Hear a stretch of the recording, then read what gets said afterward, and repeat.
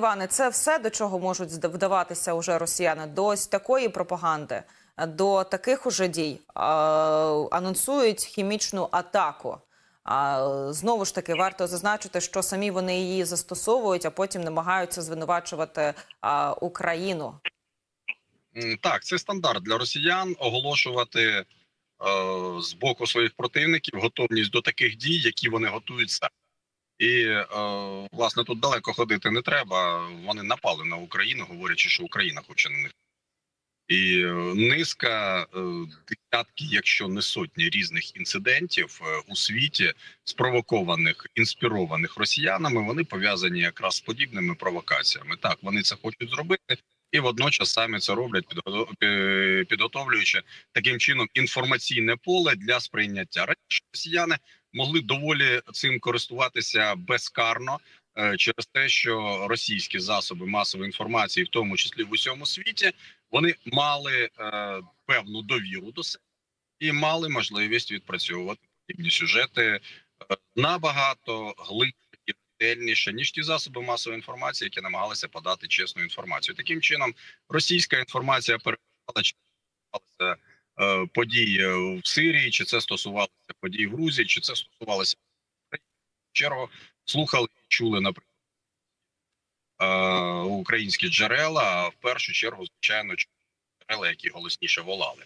Е, Серед таких виявлялися російські. Ну і що стосується в принципі застосування хімічної зброї, Росія не раз показує, що їй глибоко начхати на всі ці міжнародні по правилам і нормам ведення, в тому числі тих, які стосуються е, хімічної використання. Нагадаю, після першої війни, понад 100 років тому, е, світ під час другої війни, е, вкрай е, дуже ретельно того, використовувати хімічну зброю. В той же час росіяни використовували цю хімічну зброю, де знову далеко ходити не треба. Історія з Литвиненком, історії з Скрипалями, е, історія е, з постачанням цієї хімічної зброї знову ж своїм е, колегам і партнерам. Е, Тобто, все це було сьогоднішній день. Звичайно, росіяни я впевнений, не погребують жодними способами як терористична держава для того, щоб завдати шкоди Україні і е, в такий спосіб там її іміджу. Але зараз нема довіри до російських засобів масової інформації, і через те будь-яка подібна підготовка росіян тут же перетворюється в величезний фарс, тоді коли все одразу змальовується в чорно-білі кольори, і ми розуміємо, що там барв жодних немає, і вони не можуть їх додати. Е, Держава терорист терорист уже не раз влаштовувала провокації із хімічною зброєю. Скажіть, будь ласка, у нас є чим протистояти? У нас є для цього зброя, яка може це, наприклад, перехоплювати, або як взагалі з цим бути? У нас е, для цього є е, система е, радіаційного, хімічного, бактеріологічного, біологічного захисту, які є індивідуальні для бійців. На жаль, цивільне населення змушені сказати, що в такому випадку вкрай важко захистити.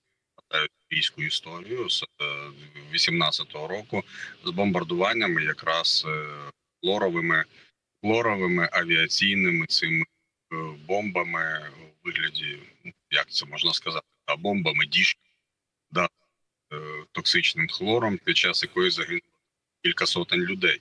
Е, Тобто цивільне населення в таких ситуаціях наразі залишається доволі під серйозною загрозою, при тому, що е, люди прочитають, як правильно себе вести під час хімічної загрози і зведуть до мінімуму скажімо, найтяжчі наслідки. Разом з тим, ми розуміємо, що це на сьогоднішній день заборона зброя практично в усіх державах, які входять до Організації Об'єднаних Націй.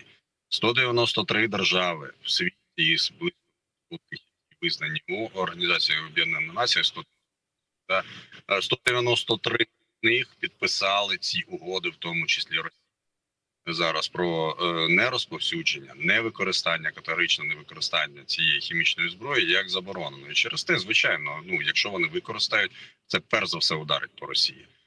Е, У відповідь, е, звичайно, злочинці понесуть дуже швидке покарання. Ми розуміємо з боку всіх можливостей, які є в цивілізованого світу. Це е, десь можливо нерівнозначно, але лежить дуже близько до використання іншої зброї масового враження, такої як, наприклад, погрози по ядерній зброї. Зрозуміло, що світ дуже жорстко і одноголосно практично е, засуджує подібне використання хімічної зброї. Тому я сподіваюся, що всі ці інформації росіян вони залишаться е, мріями і вони не будуть реалізованими через те, що це най- ну, болючіше вдарить саме по них. А Ми от, е, так, будь Таня, а що за закопуються зараз е, в Мелітополі, в Маріуполі? З чим ці діжки і для чого вони там закопуються? Чи не для того, щоб працювати саме цей сценарій, про який вони так барвисто намалювали у своїх зведеннях, нібито розвідки, тобто з тим, щоб там покласти трупи людей і потім сказати, що це українці якимось чином там обстріляли чи щось зробили.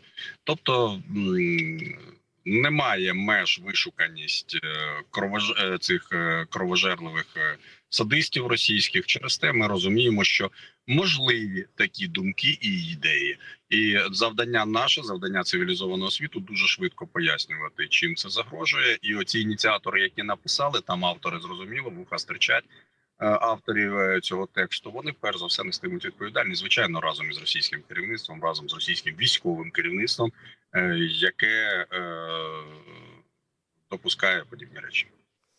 У тому, що Росія може вдатися до такого, власне, сумнівів немає, тому що там абсолютно таке відчуття, що пусто а, у голові. Але от якщо все ж таки це станеться, як ми зможемо довести, що це не українці до цього причетні? А, так, і ви сказали про те, що реакція світу буде моментальною. А яка має бути реакція світу? Знаєте, нам не треба доводити, що ми не людожери. Я е, абсолютно переконаний, що вже кожна притомна людина в світі, всі 7,5 мільярдів, розуміють, що Україна веде війну за тими нормами і правилами, які визнані в цивілізованому світі. Ми жодного разу не порушували ці норми і правила. Ми жодного разу не видавали бажане за дійсне і не видавали чорне за біле. Тобто, так, ми використовуємо е, всі способи ведення війни, але в межах е, знову ж е, людських гуманістичних цінностей, і ми не б'ємо нижче пояса, ми не переступаємо межі. В той же час Росія неодноразово, як ми вже з вами говорили, і повторюємося, порушувала ці норми і правила ведення війни, використовуючи ті чи інші види зброї, ті чи інші види дезінформації, в тому числі відверту брехню щодо своїх е, реальних намірів, е, е, побажань, завдань. І ми розуміємо, що це постійно буде супроводжувати Росію. Тому наперед передбачити, звичайно, як тільки у нас буде можливість, то звичайно наші сили і засоби матимуть можливість завдати там. Е, Шкоди цим е, ініціаторам, сценаристам подібних е, сценаріїв, але разом з тим, я так думаю, що у мене більше, скажімо, підстав думати, що вони після того, як були як вони викриті в своїй брехні, вони лише будуть про це говорити. Нам не треба буде доводити, що це не ми. Хочу з вами також обговорити і ситуацію навколо е, бо боротьба ЗАЕС у жовтні минулого року ще Збройні сили України спробували відбити атомну станцію, але зазнали невдачі. Про це пише британська газета Таймс.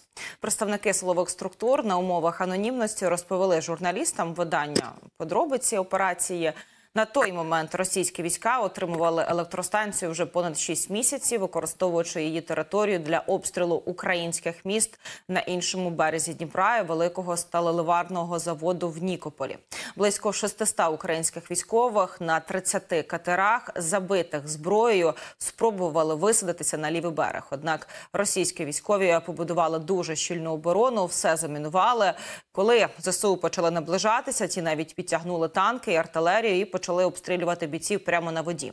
Поки катери спецназу перепливали Дніпро, українські військові почали обстрілювати позиції росіян, зокрема за допомогою ракетних систем Хаймарс. У підсумку тільки невеликій групі українських військових вдалося дістатися до берега. Вони вступили у тригодинну перестрілку із російською армією на околиці Енергодара, але потім були змушені відступити. Про це пише Таймс.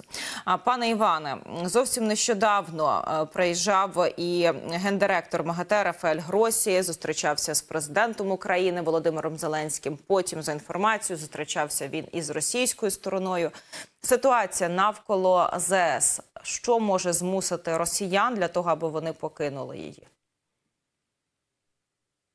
Ну, На сьогоднішній день я е, так розумію, що МАГАТЕ склало лапки в тому, що в своїй надії е, вигнати чи е, переконати росіян в тому, що вони мають покинути територію Запорізької атомної станції, і е, мова про те, що ця міжнародна організація, яка в- давно вже втратила довіру, в якій свої пазурі росіяни запустили ще кілька років тому, і мають можливість е, блокувати найбільш е, змістовні е, рішення в цій організації, які дозволять обмежувати, скажімо, можливості росіян серйозно в сфері атомної енергетики, то е, ми розуміємо, що вона імпотентна в даному випадку.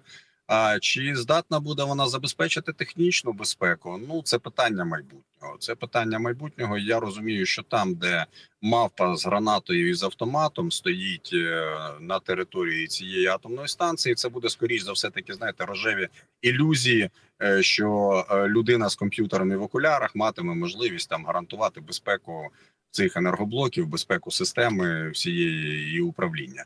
Тобто е, ми розуміємо, що наразі повна відповідальність, абсолютно повна, ну от на 100% е, лежить саме на тих істотах, які на сьогоднішній день представляють Російську Федерацію, які є представниками збройних сил Російської Федерації, і які окупували українську територію, включно з територією Запорізької АЕС. Вказується також і те, що окупанти встановлюють додатковий паркан на під'їздах до ЗС. У повідомленні йдеться, що рейсові автобуси для персоналу ЗС, які доставляють атомників на роботу, більше не курсуватимуть до фінального пункту маршруту. Перепоною стане новий паркан, який загарбники облаштовують на підходах до адмінбудівлі станції. Для цього вже почали рити землю. А до чого готуються в даному випадку окупанти? До контрнаступу? А начебто мають розуміти, що ну це дуже небезпечна зона. Я думаю, в даному разі цей паркан це чергове використання грошей. Це черговий корупціонер, який е, займається чи близький до сфери оборони, чи близький до сфери енергетики, освоїть е, кілька десятків мільйонів російських рублів зараз е, з тим, щоб розповісти, що це буде додатковий чинник безпеки цієї атомної станції, чи то військової, чи то будь-якої іншої безпеки, і не більше. Бо ми розуміємо, що ніякі паркани не допоможуть у разі контрнаступу України. Будь-які бетонні паркани вони впадуть е, або просто втечуть з цих парканів, як це було на території Херсонщини, як це було на території Харківщини, тоді коли українські війська здійснювали операції зі звільнення окупованих територій. Що стосується цієї інсайдерської інформації з Times, яка е, прозвучала, вона насправді була відома може не широкому колу е, українців, які е, розуміли, що у нас немає жодного шматочка землі, який би ми не е, були зацікавлені звільнити, і систематично не робили спроби для того, щоб звільнити. Через це, звичайно, ця операція так вона була. Я не впевнений, що там цифри названі. Е, Те джерело е, інсайдерське газети, що цифри названі там е, реальні чи близькі до реальності, що обставини названі реальними чи близькими до реальності. Але насправді, звичайно, ми знаємо, що в той час е, були спроби, в тому числі героїчні спроби, е, в такий спосіб е, завдати ворогові шкоди і, можливо, убезпечити світ від е, тієї трагедії, які його можуть чекати, наприклад, внаслідок того, що такі е, російські військові контролюють Запорізьку АЕС. Е, Ми будемо звільняти ці території. Паркани не допоможуть, перешкоди на воді не допоможуть. Херсонська область буде звільнення. Запорізька область буде звільнена, е, на якій знаходиться місто Енергодар і е, ця атомна е, станція. Ну і відповідно, але для цього потрібен час, і можливо, це буде трошки інший спосіб. Дякуємо вам. Так і буде. Працюємо разом. Кожен на своєму фронті. З нами на на прямому зв'язку був Іван Варченко, експерт з питань національної безпеки.